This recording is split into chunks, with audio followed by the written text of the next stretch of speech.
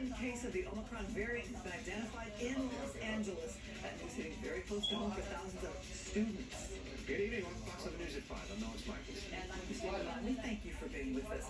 We have learned that a USC student has been diagnosed with the Omicron variant of COVID-19. Laura Diaz live for us near the campus with the latest on that. Laura. Yes, the experts told us that it was bound to happen sooner or later, and with USC students from all over the world coming and going, perhaps it shouldn't come as a big surprise. But students I spoke to today found it mostly unsettling because of the fear of the unknown.